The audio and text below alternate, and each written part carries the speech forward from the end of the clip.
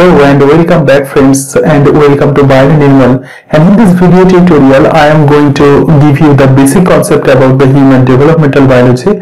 And also I shall tell you that what you will read in developmental biology sequentially okay. So in human developmental biology first of all uh, you should read in a male and female reproductive system. Actually uh, the male reproductive system uh, there are two kinds of uh, reproductive organ actually. One is the primary sex organ and another is secondary sex organ. In male reproductive system the primary sex organ is testis and female reproductive system uh, the primary sex organ is ovary. And uh, secondary sex organs are actually also present in male and female reproductive system. So you should know about the structure of the testis and the structure of the ovary and also the secondary uh, reproductive organs. Uh, just like in cases of the male there are presence of uh, vas deferens, seminal vesicle, prostate gland and uh, so their functions. And also in cases of the female uh, just like the fallopian tube uterus and so this will be very important okay. And uh, the next uh, you will go through the semen composition. Actually uh, uh during the uh, coitus or during the sexual intercourse uh, male actually produces a fluid which is called the semen. About the composition of the semen and uh, the next is the adolescent period that is uh, and when the reproductive organs is actually become matured so this is the time of adolescent period. And in cases of the female uh, this is ranges between 9 to 11 years. And in cases of the male this this is actually started in uh, uh, 14 years. So uh, this is the adolescent period and how the onset of the adolescent period is actually uh, occurred. So this is actually very important. Okay. And the hormonal regulation uh, during the time of adolescent period this will be also crucial and next is the gametogenesis actually and in the uh, testis the spermatogenesis is actually occurred by which the sperm is produced and in the ovary the ovum is actually produced and so this is this procedure is called the gametogenesis actually so sperm and ovum is actually called as the gamete and so uh, the formation of the sperm and ovum this is called as the gametogenesis. So you should uh, know the stepwise process and uh, the meiosis actually plays a crucial, crucial role uh, during the time of gametogenesis. So you should know about the gametogenesis and just after reading the gametogenesis you should have the clear concept on the menstrual cycle okay. And in, in, the human female the menstrual cycle is actually occurred and uh, the estrogen progesterone and the gonadotropic hormone like the FSH and the LH and their roles are actually important. So uh, this is actually called the menstrual cycle and the phases of the menstrual cycle you should have the clear concept about the phases of menstrual cycle. And if you do not clearly understood about the phases of menstrual cycle and then you, you cannot uh, understand about the birth control method. Okay. Because the same period is actually related with the uh, menstrual cycle clear?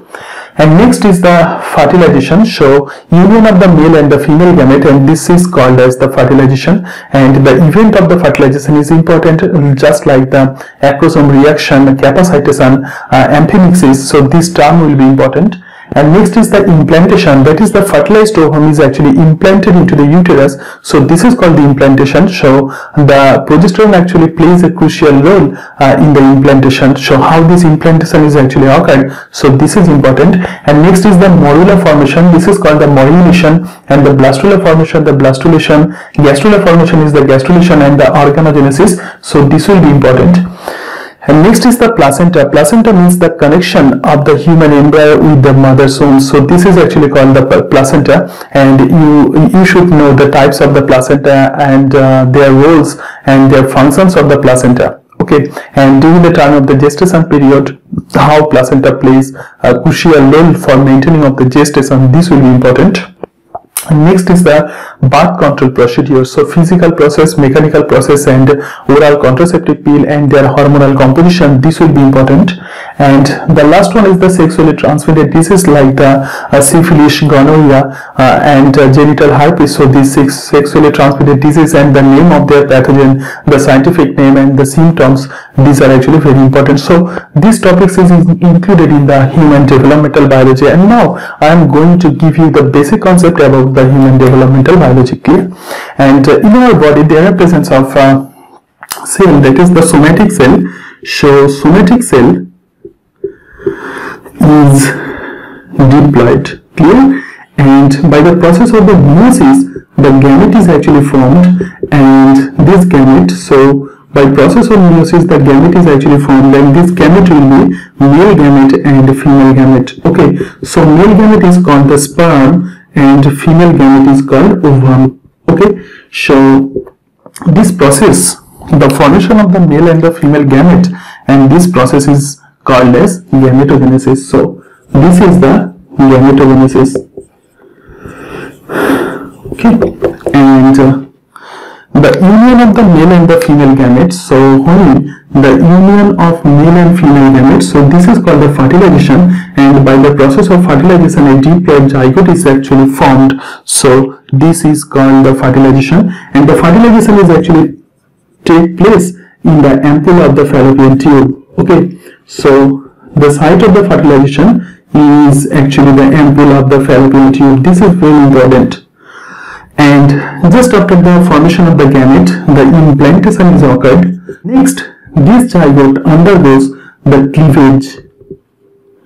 Or maybe mitotic division so mitosis and this will form a ball of cell. So these are the diploid ball of shell and this ball of cell is called as morula clear?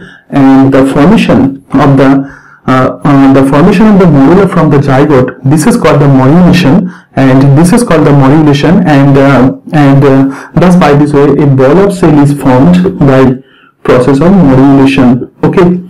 And just after the formation of the morulation a fluid filled cavity that is the blastocele is formed. So this is the blastocele and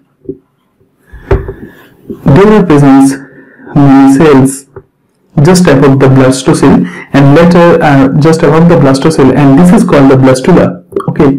And the cells of the blastula undergoes morphogenetic movement. So this one undergoes morphogenetic movement and by morphogenetic movement they will produce the gastrula okay and gastrula contain three germ layer.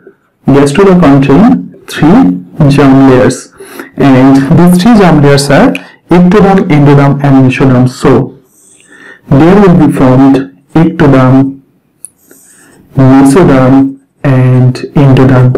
Okay, and from these three germ layers, organogenesis is formed. So organogenesis and by the process of organogenesis an organism an organism will be will be uh, originated. Okay. So this is actually the basic step of the developmental biology so a male and the female. Actually produces the male and female uh, gamete. And uh, the male gamete is called sperm and the female gamete is called ovum and this male and the female gamete undergoes the fertilization which, which takes place in the ampulla of the fallopian tube. And by the fertilization the zygote is formed and next this zygote is actually implanted into the uterus. And this process is called implantation. And this zygote undergoes the cleavage of the mitosis and thus it, and uh, thus by this way this will form the ball of cell and which is called as the morula. And next this morula undergoes the blastulation that is the formation of the fluid filled cavity which is called as the blastocele.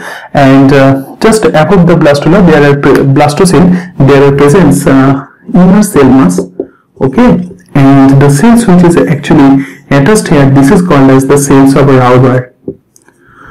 Cells of Rauber okay so the blastula is actually formed and next this uh, inner cell mass undergoes the morphogenetic movement and uh, this will form the three germ layer ectoderm endoderm and the mesoderm.